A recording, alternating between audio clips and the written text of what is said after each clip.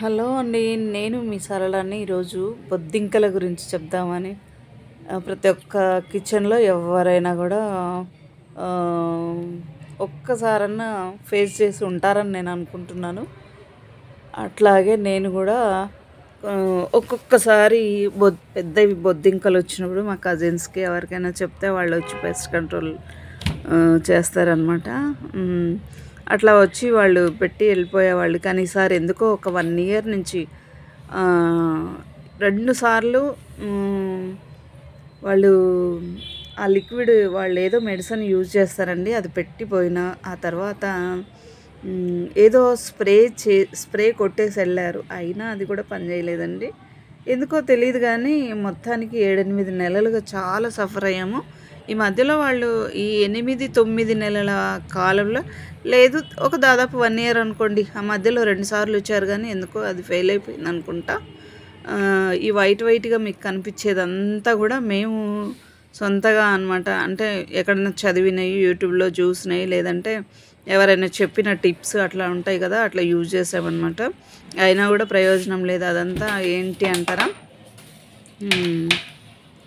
గెమాక్సిన్లో ముద్ద కర్పూరం కలిపేసి వాటర్లో లిక్విడ్ లాగా చేసేసి పేస్ట్ లాగా పూసేయడం అనమాట అదంతా కిచెన్ ర్యాక్ల కింద తర్వాత సిలిండర్ కింద షెల్ఫ్ల్లో తర్వాత కిచెన్ బండ మీద స్టవ్ కింద తర్వాత మిక్సీ కింద ఇట్లా అనమాట మిక్సీ తర్వాత అదేంటి రైస్ కుక్కర్ కింద వాటల్లో జ్వరబడి ఉండేయండి. ఎంత విసిగిచ్చాయంటే అసలు వంట చేసుకోవాలన్నా భయం వేసేది. నాకేమో కిచెన్ బండ మీదే అన్నీ ఇట్లా చాపింగ్ ప్యాడ్ పెట్టి కూరగాయలు కట్ చేసుకోవడము ఇట్లా అలవాటు అవేమో తిరుగుతూ ఉంటాయన్నమాట. ఆ రెడ్గా మీకు పే అది టమాటా సాస్ లాగా కనిపిస్తుంది చూడండి. ఆ షెల్ఫ్లలో ఆ సైడ్స్కి మేము పెట్టిందనమాట వైట్ వైట్ పేస్ట్ అంత అనమాట మేము ఎంత సఫర్ అవ్వకపోతే కిచెన్ మొత్తం మీకు ఇట్లా చూపిస్తున్నాను.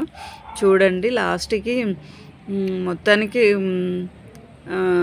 వాటిని అయితే తరిమి కొట్టాంలేండి. ఇంకా నైంటీ ఎయిట్ పర్సెంట్ అయితే పోయింది. ఇంకొక టూ పర్సెంట్ ఉన్నాయి అనుకుంటున్నా నేను. అందుకే చాలా రోజుల నుంచి పోరాటం అనమాట వీటితోటి. ముద్ద కర్పూరంలో తర్వాత నీమ్ ఆయిల్ మిక్స్ చేసి పెట్టాము. అట్లా ఏది చదివితే అది ఏ టిప్పు అయితే అది అనమాట లాస్ట్కి బ్లాక్ హిట్ అనే తీసుకురమ్మని చెప్పేవాళ్ళం. నైట్ లైట్ ఆఫ్ చేయగానే దాడి చేసాయి అన్నిటి మీద. మేము వంట చేసుకున్నాయన్నీ ఒకవేళ నైట్ పడుకునే ముందు అన్నీ తీసుకొచ్చి డైనింగ్ టేబుల్ మీద పెట్టడం. పెట్టుకోవడం ఆ పురుగులు ఏవైనా పడతాయేమో టీ చేసి పెట్టుకోవాలన్నా కూడా భయం వేసేది పాలు కాగబెట్టి ఒక పొరపాటున వేడిగా ఉన్నాయని మూత పెట్టకపోతే ఖచ్చితంగా పడుండే టీ డేక్షలో కూడా వేడి పెట్టుకుందామని చూస్తే వాటిల్లో పురుగులు పడాయి ఇట్లా నేను చాలా సఫర్ అయ్యానండి వంట చేసుకునేటప్పుడు. ఒకవేళ పప్పు తాలింపు వేసినా కూడా ఒక్కొక్కసారి అనిపించేది పురుగులు ఏమైనా పడ్డాయా అని. నేను నిజంగా చాలా సఫర్ అయ్యామండి ఇంట్లో. మేమైతే ఇద్దరము పిల్లలంటే ఉండరు కదా వాళ్ళు. ఆఫీస్లోకి వెళ్ళిపోతారు. షిఫ్ట్ నుంచి రాగానే మళ్ళీ నిద్రపోతారు. కాబట్టి వాళ్ళకి అంతగా తెలియదు మేము మాత్రం మా వారి షాప్కి వెళ్ళగానే నేను ఫోన్ చేయడం చెప్పడం అనమాట ఇదిగోండి గెమాక్సిన్ తీసుకొచ్చి పెట్టామన్నమాట. మొత్తానికి టోటల్గా మాకు ఆ పెస్ట్ వాళ్ళే ఏదో మెడిసిన్ అయితే చెప్పడం జరిగింది. ఇదిగో చూడండి.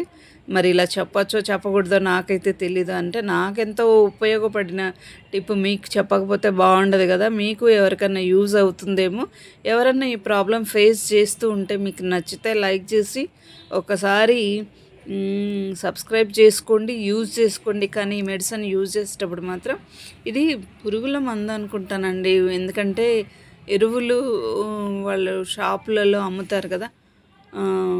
పురుగుల మందులు అమ్మే షాప్ అనమాట దాంట్లోకి వెళ్ళి కొనుక్కొని వచ్చారనమాట మొత్తానికి అంటే హాఫ్ లీటర్ వా వాటర్లో లేదా మీకున్న సమస్యను బట్టి మీకున్న పురుగులను బట్టి ఒకవేళ లీటర్లో అయినా మిక్స్ చేసుకోవచ్చు. నేనైతే చూపించిన బాటిల్ ఒక బ్లూ బాటిల్లో హాఫ్ లీటర్ అనమాట అది ఫైవ్ హండ్రెడ్ ఎంఎల్ అనుకుంటా.